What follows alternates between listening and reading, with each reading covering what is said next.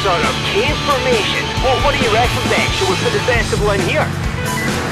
Do you know how the tide works, Alex? Come on, let's keep going. Look at that mountain. We're